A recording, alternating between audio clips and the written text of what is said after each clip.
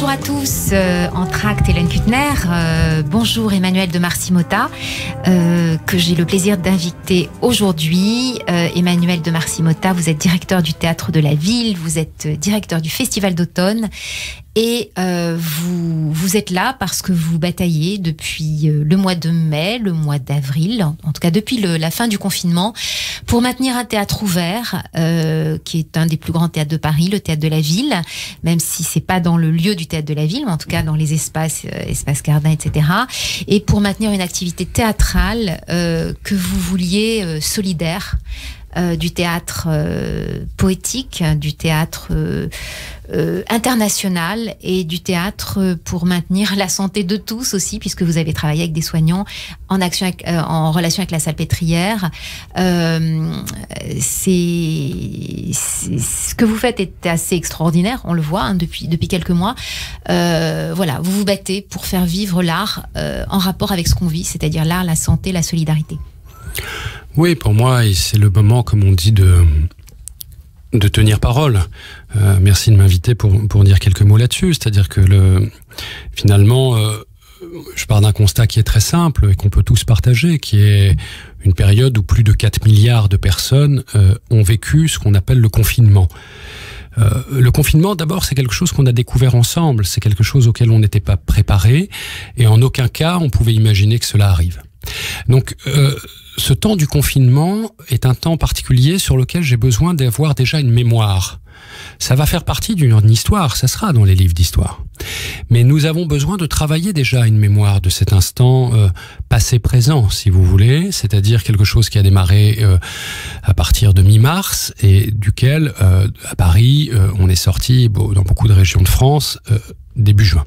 Donc pendant ce temps du confinement, pour aller vite, il m'a semblé nécessaire de reprendre les éléments de la réflexion très rapidement et de pouvoir les partager, de considérer que j'avais en charge le théâtre de la ville, le festival d'automne à Paris, c'est-à-dire un des théâtres qui accueille le plus d'artistes étrangers au monde, que nous avons assisté à la fermeture euh, des frontières pendant cette période, euh, que nous avons vu ce que cela voulait dire aussi, euh, du point de vue de la circulation de la pensée, des idées, de cette nécessité de la présence de l'autre, de l'étranger, en nous et avec nous, parmi nous, dans des lieux de culture, d'art.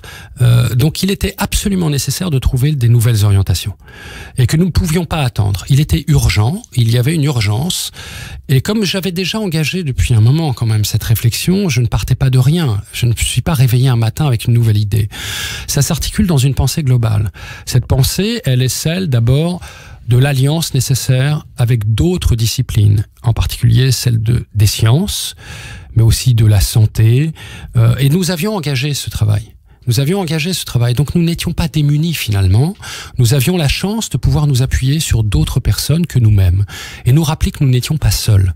C'est-à-dire se dire que il faut sortir de cette idée que nous sommes seuls face à l'adversité, parce que sinon le ressentiment va exister, qu'en chaque être va se développer des forces négatives et que nous devons préparer la suite. Mais la suite, nous la préparons maintenant. Donc c'est bien par l'articulation, je dirais d'abord d'un premier texte qui est tenir parole. Ensuite, l'engagement. Je vais vous donner trois exemples concrets. L'engagement d'une troupe de 90 comédiens pendant la période du confinement que j'ai choisi par téléphone, puisque je n'ai pas pu les voir, en les écoutant. En prenant le temps et le soin, justement, d'essayer d'entendre l'autre, d'entendre sa voix et de se dire alors qu'il nous restait la poésie. C'est-à-dire que la poésie, ce sont des mots des poètes qui sont faits en toute liberté parce qu'ils sont gratuits. Et la gratuité, c'est le début de la liberté.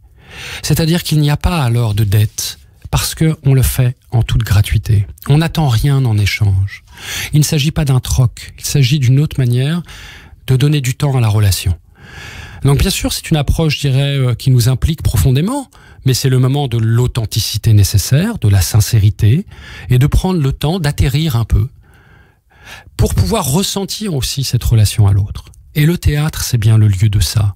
Si on prend l'étymologie du mot théâtre, qui veut dire l'endroit d'où l'on regarde en grec, puisqu'il n'y a plus rien à voir finalement pendant tout ce confinement. Il n'y a plus qu'à entendre, mais pour ça, il faut savoir écouter. Donc ce chemin, on doit le faire ensemble.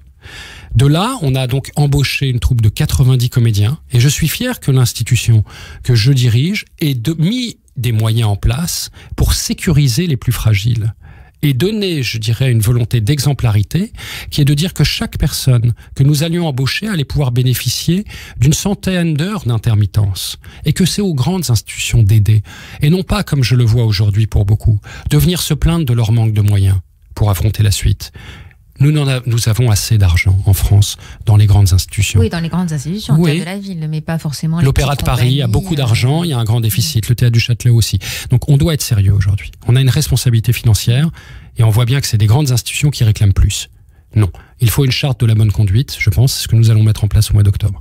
Il faut que les grandes institutions, qui ont reçu beaucoup de moyens ces dernières années, si elles sont en déficit aujourd'hui, ça n'est pas que le Covid, c'est qu'il y a un problème. Donc nous devons discuter très sérieusement de où va l'argent, comment il va servir dans les temps qui viennent, pour aider justement un tissu global, collectif, qui nous permet d'affronter ensemble l'avenir. Il ne s'agit pas de fragiliser ni les grandes institutions, mais aussi de pouvoir trouver les moyens de faire travailler, et non pas seulement une année blanche, de faire travailler ceux qui n'ont plus le moyen de travailler. Un acteur qui ne joue pas n'est plus un acteur au bout de six mois. Un acteur a besoin du plateau. C'est un savoir-faire intime et profond. Vous allez avoir tous les comédiens de France et de Navarre qui vont vous appeler. Mais moi, écoutez, j'ai engagé 100 comédiens pendant cette période. Euh, j'ai engagé 100 comédiens pendant cette période. Je suis pas tout seul. Il y a en France plus de 1000 théâtres, 2000 théâtres. On a les moyens de faire. Il faut se redonner confiance.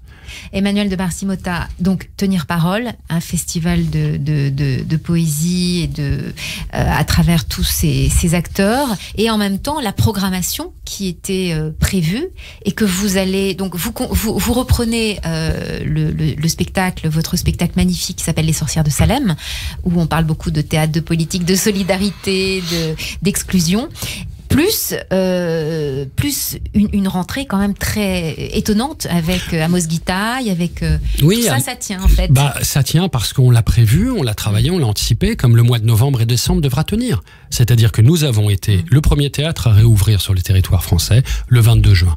Ensuite, nous avons créé un mois de juillet solidaire où le théâtre était gratuit et j'ai pris la décision, et elle est importante, toute cette saison et depuis le mois de juillet, que le théâtre soit gratuit pour tous les enfants, adolescents jusqu'à l'âge de 14 ans. Ceux qui ont été privés d'école, ceux qui n'ont pas pu être euh, en présence d'autres enfants, de l'endroit du jeu, de l'apprentissage. Donc c'est un, c'est quelque chose de très grave fondamentalement. Donc nous devons aujourd'hui faire un effort pour l'autre on est au service quand même de l'autre.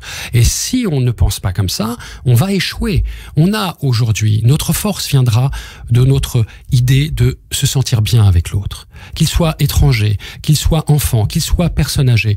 Deuxième exemple concret. J'ai fait le choix au mois de septembre de rajouter des représentations en le demandant aux artistes le samedi après-midi à 15h en mode Covid+, si je le dis avec humour. C'est-à-dire une salle qui était de 400 places a été réduite à 200, je l'ai réduit à 130 pour que ceux qui ont peur, 65% des personnes de plus de 65 ans, soient en train de décrocher et ne viennent mmh. plus dans les salles de spectacle. Eh bien, il faut en prendre soin. Il faut leur dire que pour eux, la distance sera encore augmentée, que nous allons encore travailler, que nous allons faire des efforts pour pouvoir continuer à accueillir. On le fait samedi sur les sorcières de Salem, on réduit la jauge, on l'a fait avec Édouard Louis la semaine dernière, on le fera avec Amos Guitaille.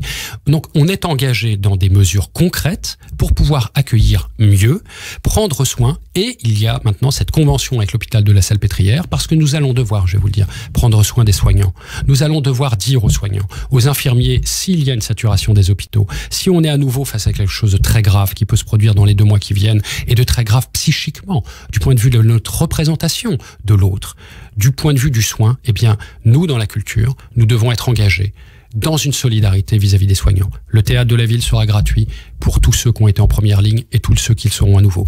Nous ferons des consultations poétiques à l'hôpital de la Salpêtrière. Nous travaillons avec le, les, les parties de neurochirurgie, de neurologie, de soins de suite, de soins palliatifs. C'est bien dans ce sens-là que nous devons construire ce temps présent, nous devons tenir parole, trouver notre engagement dans le temps présent pour construire le temps d'après nous aurons le temps alors de construire ce temps d'après que nous souhaitons aussi meilleur, qui prendra plus soin de la planète, qui prendra plus soin de la question de la diversité, de la parité, de l'égalité des chances.